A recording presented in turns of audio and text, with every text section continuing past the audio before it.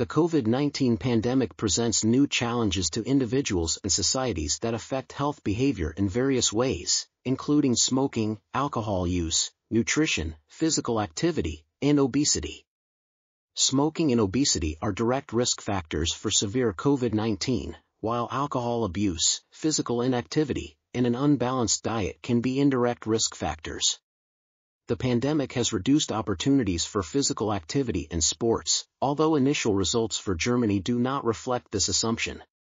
While some people report making healthier diet choices, others do not.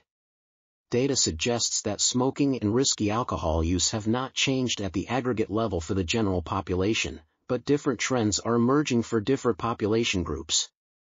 Further studies should confirm these results, indicating a need for pandemic-specific prevention measures health promotion and prevention measures directed at changes to health behavior should continue during the pandemic, with equity in health being promoted particularly.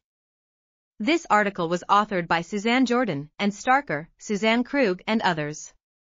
We are RTCL.TV, links in the description below.